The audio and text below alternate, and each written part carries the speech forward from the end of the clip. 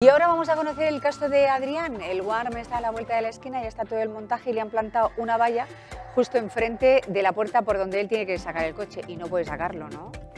No puede sacarlo, él mismo lo dice, que necesitaría un helicóptero para poder sacarlo, porque la verdad es que el espacio que ha dejado ha sido, han sido totalmente mínimo. Ahí lo están viendo, estos son unos vídeos que él grabó cuando estaban montando esas vallas, de hecho, bueno, pues llamó a la policía, la policía se personó en el lugar de los hechos, en la puerta de su casa, y bueno, pues tomó un poco nota de lo que estaba pasando, porque la verdad es que es una situación bastante insólita, un macro festival que se instala en la FICA, ya saben, el Guard, el próximo fin, fin de semana, y claro, pues ya empiezan a prepararlo todo, hay casas alrededor alrededor que lindan pues con este festival. Ahí está el coche de Adrián dentro de su parcela, dentro de su casa y como les decía este es el pasillo que le han dejado y ahí está pues esa valla, un camino bastante pequeño por el que no puede pasar y él pues eh, pide una solución, una solución al ayuntamiento porque desde el festival que no han querido hacer ningún tipo de declaración dicen que ellos lo tienen todo en regla, que esos son los límites que tiene que marcar el, el recinto que tienen que vallar para poder prepararlo todo y bueno pues están un poco en conversación con el ayuntamiento para ver si se puede llegar a una solución, porque ya lo están montando, pero todavía quedarían días pues, para esta situación tan insólita que vive Adrián y que nosotros hemos vivido con él esta mañana. Vean. Adrián, ¿cómo entras tú ahora en tu casa? Pues mira, por aquí. Por este camino, ¿no? No, este es el camino que nos han dejado, que según la Marta, la, la de producción, pues bueno, por aquí dice que puede caber una persona en silla de ruedas también y que por aquí pues que es un camino apto para poder pasar. Entonces, pues... Espera, espera, que, yo, que tengo que pasar yo. Espera, de, vale. Dime, dime. Uh, que me caigo. Cuidado. Mira, ¿ves? Por aquí o sea, no. ¿ves? Casi me caigo.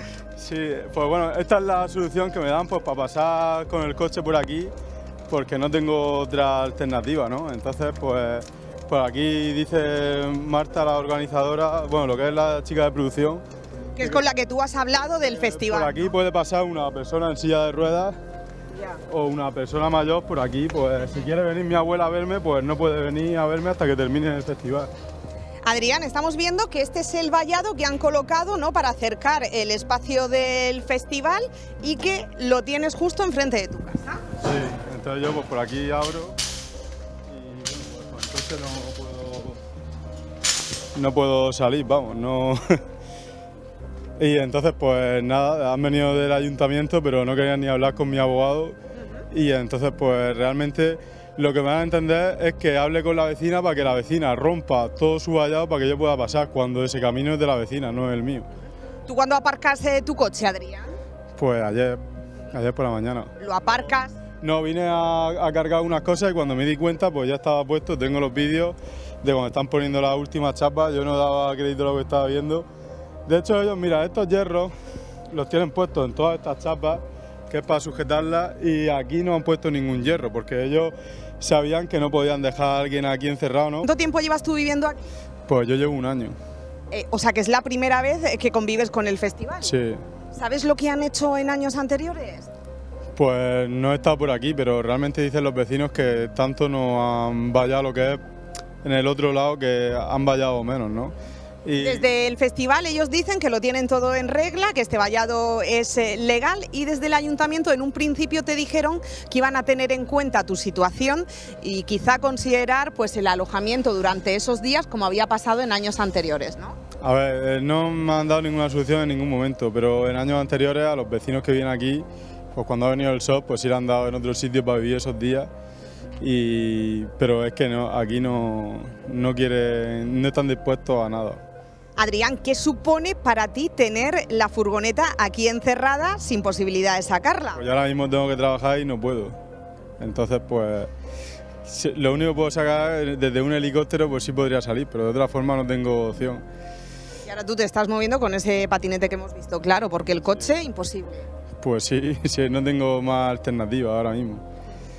¿Qué crees que va a pasar? Porque el festival ni siquiera ha arrancado y te quedan todavía unos eh, días de soportar esta situación. Pues, eh, pues mi abogado pues, hablará con el ayuntamiento y con los de producción y a ver qué, qué, qué llegamos. Si me dejan salir, me dejan una salida provisional por aquí o qué hacemos. Pues mientras eh, ve lo que pasa, él se ha puesto en contacto con su abogado pues para buscar una situación legal. Ah, pues porque eh, todavía quedan días para el festival, el tiempo se le echa encima y como han escuchado, pues es un trabajador autónomo del mundo de la construcción que ahora tiene pues su vehículo, el coche con el que tiene que salir a trabajar, pues dentro de su casa. Eso también lo va a tener en cuenta el abogado en el caso de que lleven adelante, bueno, pues toda esta historia legal. Escuchen lo que nos ha contado.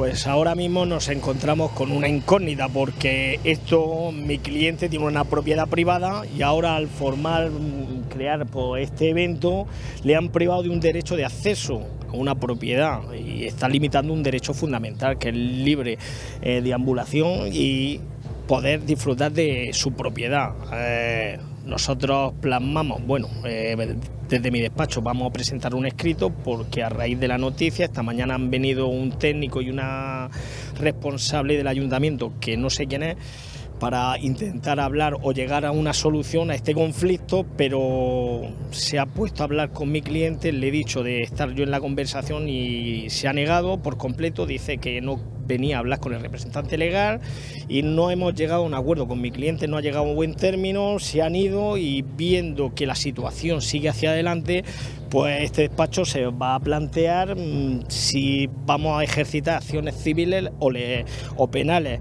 Eh, Vamos a estudiarlo esta tarde con mi equipo y vamos a presentar un escrito pues, diciendo que no se puede mantener esta situación, no se puede privar a mi cliente, que es un autónomo, en que ah, se ha quedado aquí la furgoneta dentro y eso le, va, le está creando, aparte de un daño emergente, un lucro cesante. No puede trabajar y todos esos gastos se les va a reclamar. Vamos a hacer una reclamación patrimonial al ayuntamiento por estos perjuicios. Una solución podría ser que abrieran de manera provisional para que Adrián pudiera sacar el coche y además durante esos días eh, buscarle un alojamiento. ¿Sería algo que a lo mejor podríais aceptar? Sería una opción admisible y aceptable. Mi cliente lo que quiere es una solución, poder acceder a su vivienda, entrar y salir sin tener que romper la valla de la vecina. Un acceso provisional y entiendo que esos dos días del concierto, esos dos días, pues bueno, darle opciones a, como han hecho en años anteriores, pues que se desplace, le den eh, en un hotel o los peden donde quieran, pero mientras tanto lo que no puede es una semana anterior al concierto y como ya sabemos, días posteriores al concierto, tirarse dos semanas, 15 días sin poder utilizar su vehículo y verse que, está perdiendo dinero económicamente. ¿Vemos esa valla que le han propuesto romper? Vale, eh, os la enseña Adrián. Eh. Bueno, pues Adrián nos ha enseñado esa valla, es esta que están viendo que da pues al camino asfaltado porque hemos llegado nosotros en coche, que hemos tenido que aparcar y luego ir andandito por ese caminito estrecho que han visto que pasábamos eh, con el patinete. Esa zona en realidad pues es esa valla la ha colocado su vecino que no tiene coche y que por lo tanto no es una, una valla de quita y pon, sino que es una valla fija que evidentemente pues no está dispuesto a quitar pues para que él saque el coche, sobre todo porque hablamos de una propiedad privada y él insiste en que estas solución se la tiene que dar el ayuntamiento.